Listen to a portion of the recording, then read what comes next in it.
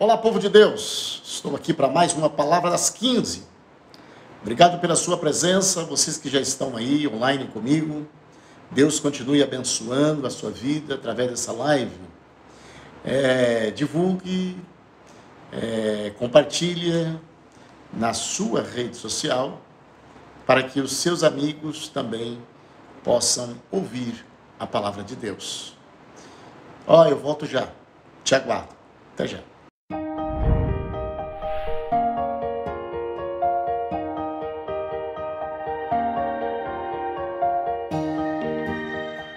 vídeo anterior eu disse sobre Miriam, Arão e Moisés, lá em Números capítulo 12, qual eles tinham formado um complô contra Moisés. E eu disse que o Senhor ouviu tudo o que eles haviam tramado contra Moisés. E agora eu vou continuar esta leitura é, e esta palavra apresentando as consequências que sobrecarriu sobre Arão e Miriam por ter se levantado contra Moisés. O texto que vou ler é o número capítulo 12, verso 4, e diz assim a santa palavra de Deus: No mesmo instante, Deus, o Senhor chamou Moisés. Então, eu quero começar esta palavra já trazendo para você uma aplicação. Não se importa, não se importa, não sofra pelo que falam de você. Deixa que Deus cuida de você. Deus zela de você. Deus resolve para você. Vou repetir isto. Deus resolve para você. Palavra das 15 para o teu coração. Deus resolve para você. Sabe por quê? Porque você não está em todos os lugares. Mas se estão falando de você, Deus está ouvindo. Falaram de Moisés. O texto diz que imediatamente Deus chamou Moisés para fazer fofoca? Não, Deus não precisa disso. Chamou Moisés e chamou também Arão, e chamou Miriam, e disse: Vão à tenda do encontro, vocês três, e eles foram lá. E então o Senhor desceu na coluna da nuvem, parou em, a entrada da tenda do encontro. Arão e Miriam chamou, o Senhor chamou eles. Os dois se aproximaram, e o Senhor lhe disse: Ouçam o que eu vou dizer. Se houver profeta entre vocês, eu, o Senhor, me revelarei em visão, em visões. Falarei com ele em sonhos. Mas não é assim. Porém, com o meu, o meu, o meu servo Moisés, ele tem sido fiel em toda a minha casa. Falo com ele face a face, claramente, e não por meio de enigmas. Ele vê a forma do Senhor. Ele vê a forma do Senhor, como vocês usaram criticar o meu servo Moisés. Deixa eu te falar.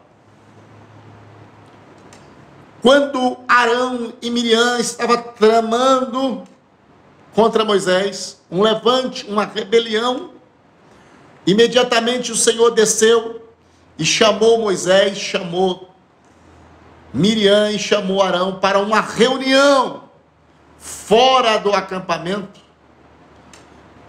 para tratar este assunto.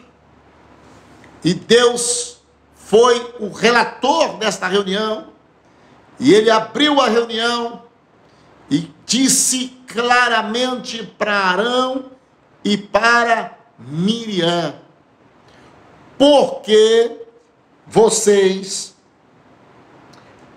como vocês usaram criticar o meu servo Moisés. Se houvessem, Deus dizendo, se houvessem profeta, eu falaria em visões, em sonhos, mas não com o meu servo Moisés. Com o meu servo Moisés não tem enigma nenhuma. A gente fala face a face. Porque o meu servo Moisés, Deus dizendo, tem sido fiel na minha casa. Oh, glória a Deus. Como usaram falar mal do meu servo Moisés, criticar o meu servo Moisés.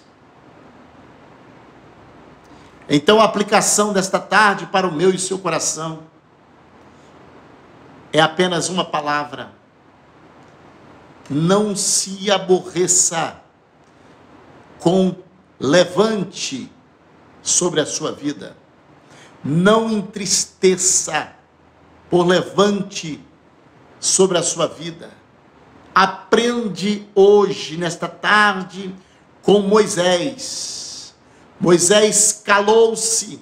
Moisés não disse uma palavra. Moisés não questionou.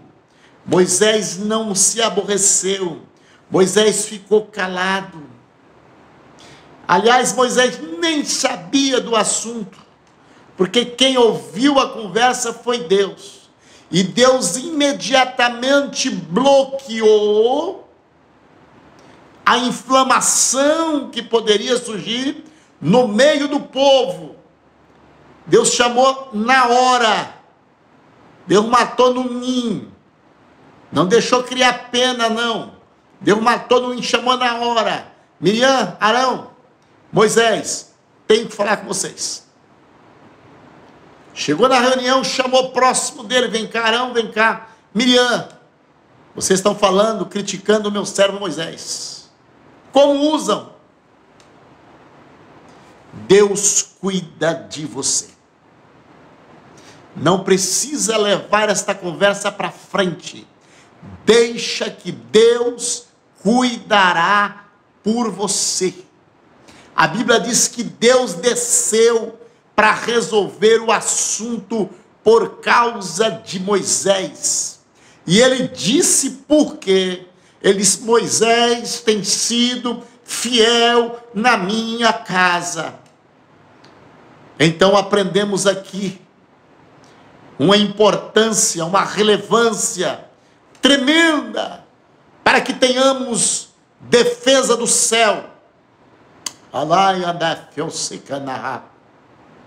Aprendemos aqui, tiramos uma lição aqui, uma palavra didática como esta.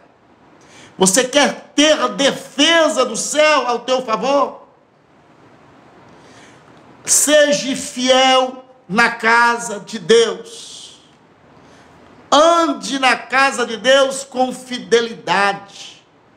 Quem testificou isto aqui foi o próprio Deus, para aqueles que estão na minha casa, com fidelidade, eu responsabilizarei por todas as contendas, por todos levante contra a vida dele, porque ele está me servindo de forma excelente, eficaz. Sendo fidedigno no exemplo dentro da minha casa. Por isso não se preocupe com o que falam, com que arma, com os laços, porque Deus é o seu escudo para a glória do nome dele. Aleluia. Esta é a palavra. Não é assim, porém, com meu servo Moisés o Senhor está dizendo aqui: olha, vocês não entenderam. Não adianta vocês querer tomar o lugar de Moisés, porque era esta a intenção. No vídeo anterior a gente fala sobre isso, eu falo sobre isso. Olha, eles questionaram por quê? Por que é que Deus só fala através de Moisés? Por que é que Moisés quer ser o, o ditador entre nós? Mas aí o texto sagrado diz: Moisés é o homem mais manso dos homens da terra. Moisés era o homem mais humilde. Jamais Moisés era exaltado, soberbo e queria comandar sozinho. Moisés não caiu de paraquedas no seu cargo. Moisés não forçou a porta para entrar no seu cargo. Moisés foi chamado, escolhido, buscado, ungido, consagrado para a obra de Deus. E ai de quem querer tocar nessas qualificações do servo de Deus. Meu irmão, aprendemos nesta tarde algo tremendo aqui. O testemunho de Deus para com Moisés. O testemunho de Deus. Deus chama os dois irmãos, irmãos da família. E diz assim: Olha, vocês não estão à altura para se comparar com meu servo Moisés. Glória a Deus. Meu servo Moisés. Primeiro que Moisés era servo do Senhor. O Senhor está dizendo: é meu servo. E se é o meu servo, dele cuido eu. Faz aquilo que está na sua mão e deixa aqui do meu servo cuido eu. Jaionehi me cante o fácil, lamai. Aleluia. Glória a Deus. Se é Ele que fala, é porque sou eu quem estou ordenando que Ele fale. Cada um no seu lugar. Cada um toque o seu instrumento. Arão e Miriam queria tocar o instrumento de Moisés. Queria sentar no lugar de Moisés. Tinham inveja de Moisés. Por isso caracterizou rebelião. Isto é rebelião. É querer o que o outro tem. Isto é rebelião. E aqui está dizendo, não é assim, porém, com meu servo Moisés. Com meu servo Moisés eu não falo em sonho, com meu servo Moisés eu não falo em enigma, com meu servo, servo eu não falo em visão, não. Com meu servo Moisés eu falo face a face. Ele tem sido fiel em toda a minha casa. Por esta razão, eu entro como defensor dele, como advogado dele, como juiz a favor dele. Meu Deus, acalma o teu coração. Se você tem tal classificação, se você preenche um pouco desses requisitos aqui, então tranquiliza, fica em paz. Pastor, mas qual requisito? Quais são os requisitos? Ser servo de Deus, ser chamado por Deus. Primeiro, ser o servo. Segundo, ser chamado. Terceiro, ser fiel em toda a casa. Está escrito. Fiel em toda a casa. Meu irmão, esta fidelidade reconhecida pelo próprio Deus. Bom é ser avaliado pelo dono da casa. E vai uma pergunta aqui para você que está me ouvindo. Você está em condição de ser avaliado pelo dono da casa?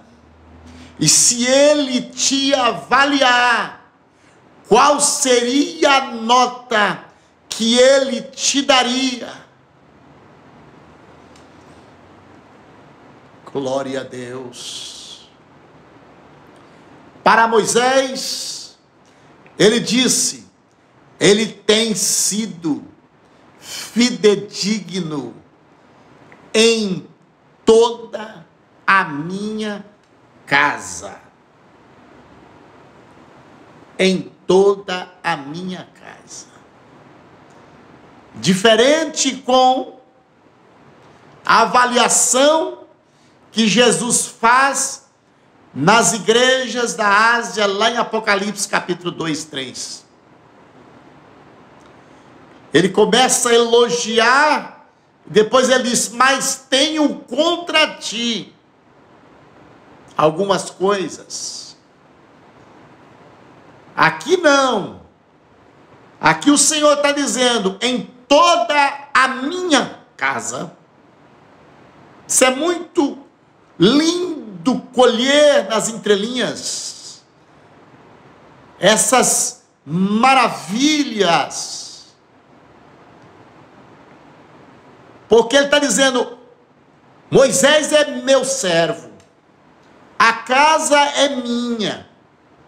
E Moisés, na minha casa, em toda a minha casa, tem sido fiel. Então eu não permito que ninguém se use a criticar o meu servo Moisés. Oh, meu Deus do céu, isso é muita declaração. É coisa linda. Vale a pena ser fiel com Deus. Vale a pena servir Deus de forma fiel com Deus. Vale a pena. Não duvida. Ele cuida de você. Ele se levanta ao teu favor. O texto literalmente está dizendo: e Deus desceu por causa da crítica contra o servo dele Moisés. Deus desceu e chamou todo mundo para a reunião. Então fica tranquilo, você que está sendo criticado aí. E cuidado se você está ouvindo esse vídeo, ver esse vídeo, se você já sentou na cadeira do crítico. Cuidado. Você em qual bancada você está hoje? Do criticado ou do crítico? Se você está sentado na cadeira do criticado, Deus defenderá você. Mas se você estiver sentado na cadeira dos que apontam, dos que criticam e dos que tramam, cuidado, porque Deus também tratará com você. Então Deus não tem dois, dois pesos, duas medidas. Deus é fiel. É por isso que ele defende aqueles que são fiéis. Bendito é o nome daquele que vive para sempre. Então guarda isso. Seja fiel em toda a casa e terás defesa do céu ao teu favor. Muito obrigado pela tua presença. Que Deus te abençoe e que esta palavra possa fluir no seu coração e quebrantar e tranquilizar e trazer refrigério para a glória do nome do Altíssimo. Estarei orando por você. Querido Deus, bondoso Pai, ó oh, Jesus que fala, ó oh, Deus, tu és a nossa salvação. Tu és o meu Senhor, tu és o Deus da minha alma. Pai querido, quebra o laço, corta a lança, queima os carros no fogo. Visita, meu Pai, aquele que está com dor nesta hora. Visita aquele que está com uma enfermidade. Visita, Senhor, aquele que está passando por luta. Visita aquele, meu Pai, que está necessitando das finanças. Deus, visita o teu povo, Pai. Senhor da glória, eu peço a tua bondade, o teu amor nesta hora. Em nome de Jesus Cristo, atende a minha oração.